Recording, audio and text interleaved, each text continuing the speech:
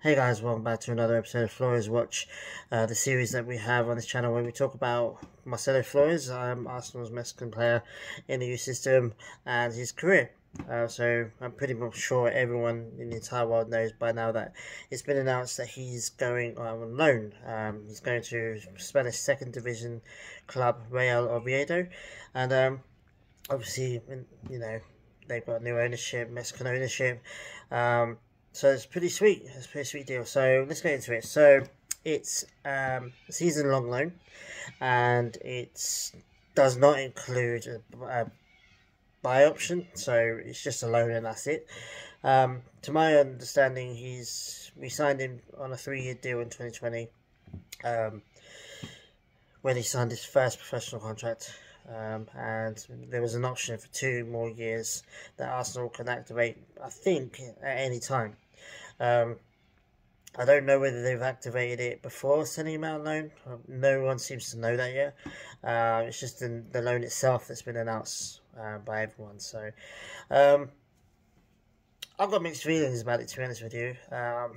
Um, I mean, I'm not going to lie. I mean, there's loads of video footage of me saying that I really thought that he was going to get at least a chance in the first team for Arsenal this season, um, especially with Arsenal having a load of cup game cup games now, and obviously Europa League as well. Um, he had a real, real chance, in my opinion. And it's not just me being biased and being hopeful and making it up and just wishing. Um, all the journalists were saying it. Um, Charles Watts. Uh, Daily Cannon, uh, George Bird, they all the the the feeling from the club was that a load of the under 23s were going to get chances this season. Um, and that hasn't really happened. I think it's because I think Arsenal are signing more players than I think anyone really had envisaged. Um, although we haven't really signed anyone um, in his position, except for maybe Vieira is can be a number ten.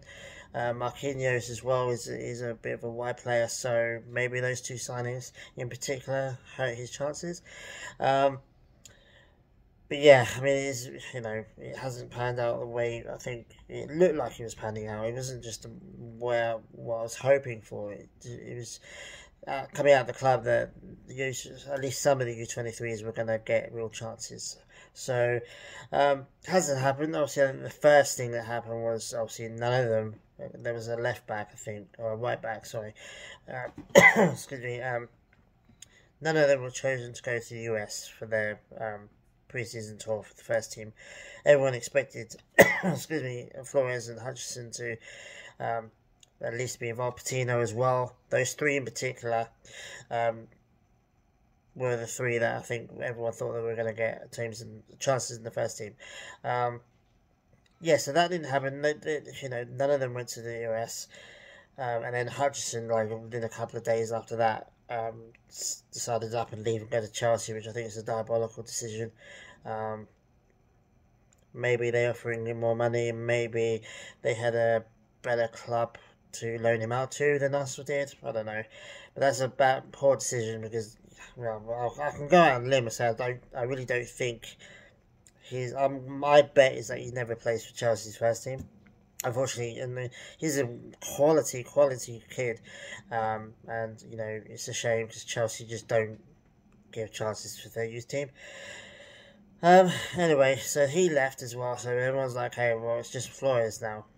And my last video, I was saying, you know, how um, if he does decide to stay, and if you know if he does decide to try and stay in the first team or get in the first team, um, he would have no opposition now. I mean, Hudson is basically his main rival, and um, um, yeah. So we were kind of just waiting around for the last few days, basically just kind of just to figure out what was going to happen. We knew it was either he was going to leave outright, be sold, or he was going to go out on loan, or uh, the club or somehow announced that he's going to be part of the first team, um, which was incredibly unlikely. As soon as the um, the US trip list came out and he wasn't on it, I was like, okay, well, that's pretty much the first team out of the picture this season.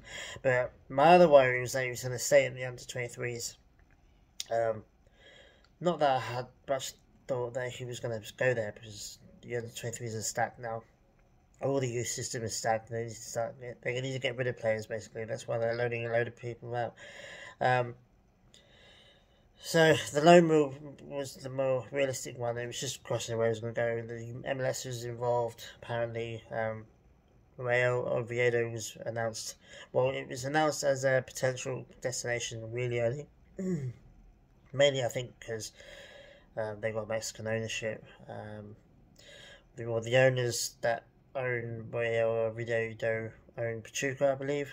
Um, or the, they own the company that owns Pachuca. I don't know quite how it works, but basically it's a Mexican affiliated club um, ownership now. So um, yeah, there was you know maybe a championship side, maybe you know no one really knew, but it was announced today, literally probably about five-ish hours ago.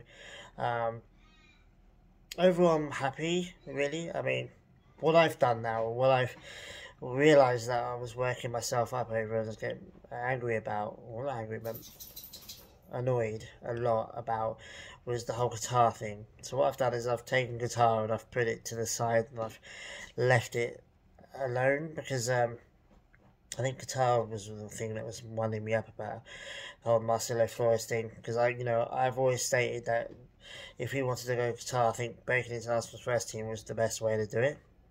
The only realistic way he could do it, in my opinion. Um, and there are some people that think that if he does really well in Oviedo, that maybe he can still go to Qatar. Maybe it's possible. I mean, it is possible. You never know what Tata's going to do. But um, for me, Qatar's out the window. For me, I'm just focusing on his development as a player. So I know that he's too good for the under 23s now.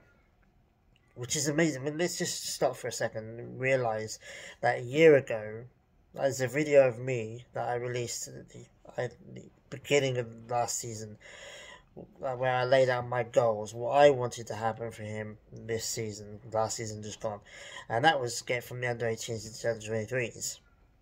I hadn't really gone much beyond that. I didn't really know how it was going to happen. I didn't know how he was going to do in the under 23s, so I didn't look too far beyond the under 23s.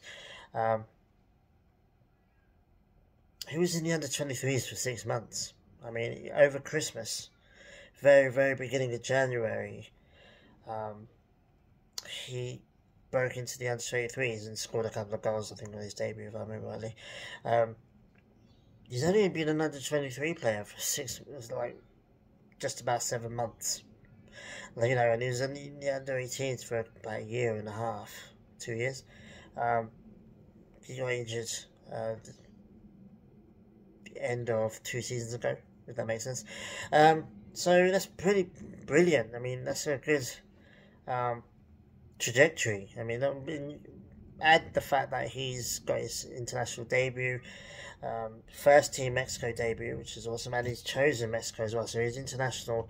That whole indecision and or the whole decision and the whole speculation and the arguments online about that has ended now, which is nice.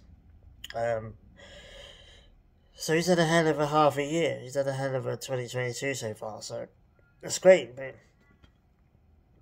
um, we could not justify him being a he's a Mexican international, he's a full international.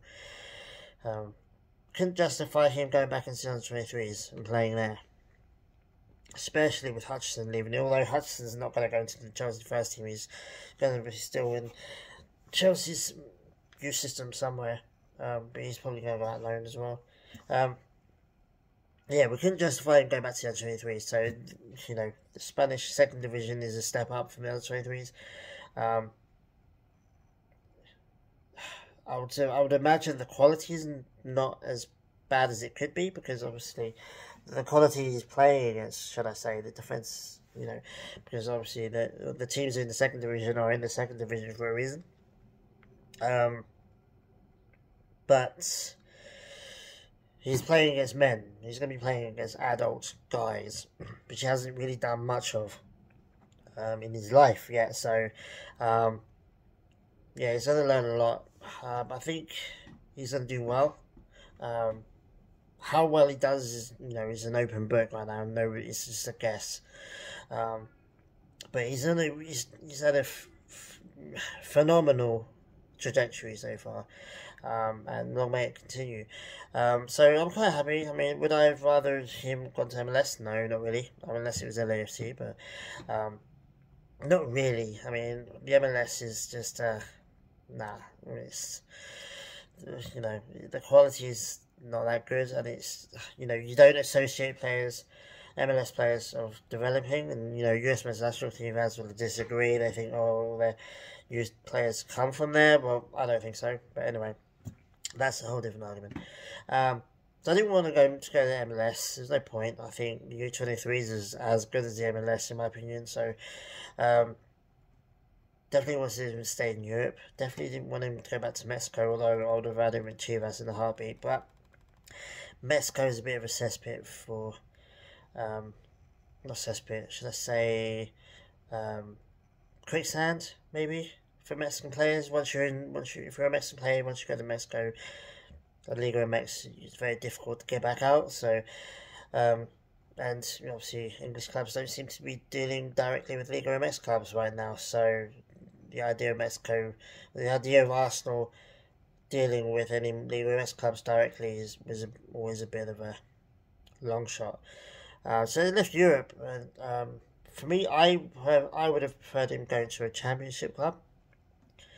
Um, because championship club championship is hard.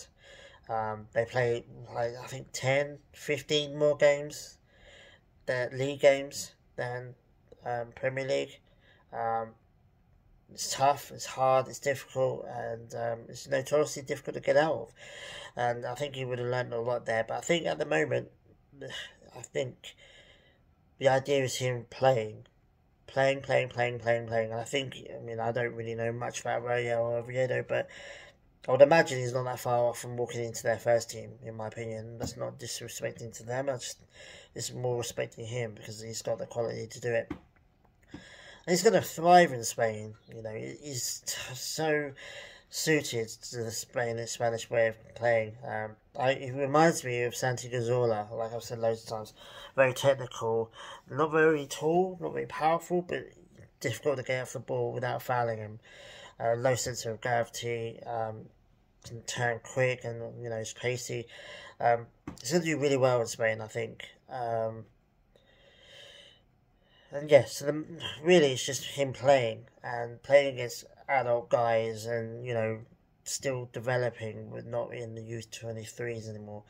Um, so hopefully you know he scores a bunch of goals he assists a bunch of goals and he comes back to Arsenal at the end of next season. So whether they've activated the extra two years or not uh, I, I would imagine they will because at some point soon because um, his contract ends when his loan ends so I don't think Arsenal are going to want to let him go for free. And I think they want to. If I was them, if it was the smart thing to do would be to renew his contract, extend his contract for the two years that is already part of the deal. Um, and then bring him back. Well, let's see how he does this year, and if he does really well, bring him back. I still don't know whether he'll get into the first team, but he may go on the championship loan by then. Um, for now, it's just playtime and developing as well. Um, if he goes and scores 20 goals and gets 15 assists, then they go, okay, well, maybe he's good enough to be in the first team or good enough to be in, in a championship loan for a season. Because there is no rush. I mean, I mean, it is a bit of a rush, but there is. A, I don't. I'm torn. I would love to have him in the first team next week, but um, I also think there's no rush. So um, yeah, I'm rambling on, so I'm just going to wrap this up. Basically, I'm happy. Um, he's going to be playing first team football. He's going to become a first team professional, which is great. He's going to learn. Um, you know, he's not going to be in a in a kid environment anymore. He's going to be in an adult environment, playing against adults. Um, maybe not the highest degree of talent, but he's going to be playing against adults and um, experienced players as well. So he'll learn a lot from there. I think he'll do really well over there. And yeah, just continuing what he's been doing so far because um, it's been brilliant. And like I said, I could be wrong. It could be proved wrong. If he does well over there, he still could be going to Qatar. He might be going to Qatar no matter what was going to happen this season. Um, I just don't hold. I'm not holding much hope for it. I'm not worrying about it. I'm not stressing about it. I'm not arguing about it with anyone anymore. If, if somebody thinks that he's going to go to Qatar, that's great. If somebody thinks that um, Arsenal are holding him back from going to Qatar, then okay, all right. And if they think that Oviedo is going to get him into the Qatar squad, that's cool. I mean, I'm not really phased by that argument at all anymore. Um, for me, it's just developing the player, um, getting him first team football, getting him experience, and then bringing him back into Arsenal and see what happens at the end of next season. But um, yes, just wanted to let you guys know that I am keeping this series going. He's still an Arsenal player. Um, if it's left permanently, I, I would have stopped because um, same reason I don't do a series on Silvana or Tassiano because they're not part of Arsenal anymore. Um, but yeah, he's still part of Arsenal. He's, he's owned by Arsenal. Um, he's under contract at Arsenal still, at least for this year, but I think he's going to be another couple of years on top. Um, so yeah, Loan Watch, Loan Watch, Flores Watch, whatever you want to call it, it's still going, still going to continue, and um, probably not going to be telling you anything that you already don't know. I mean, the first year or so, year and a half, two years of this series, maybe you didn't know stuff that I was talking about, and you learned something from it. But now it's like I said before, it's changing into what my opinion is and um, what I think is going to happen and why I think this has happened blah blah blah. So um, yeah, hope you still guys, I hope you guys still get something out of these videos because I like doing them. I've, I'm in a, I'm in a good habit of doing them now. You know, I've been doing Flores Watch videos now for a couple of years, so um, yeah, um, thanks for watching again, guys. Thanks for coming back all the time. I really appreciate it. Give a comment below what you think about the move. Um, do you think he should have gone to another team? Do you think he should have stayed at Arsenal? Um, we'll have a discussion about it. I don't want to argue. I'm done arguing about Flores, to be honest with you. But we'll have a discussion for sure. So, um, yeah, I'm not going back to sleep now because I'm tired. It's 7, uh, 8 a.m. and I've done a night shift and I'm tired, so I'm going to go back to bed. Um, so, yeah, thanks, guys. Um, take it easy, and I'll see you guys for. Um, I don't think there's going to be any more news now until maybe if the um, sorry if they announce that the contract's been extended, I might do a video on that. But otherwise, I'll probably wait until he has his first league game. So, yeah, we'll have to wait and see on that. So, take it easy, guys. I'll be back relatively soon with another video. And uh, take it easy, have a good day, and uh, see you guys soon. Adios.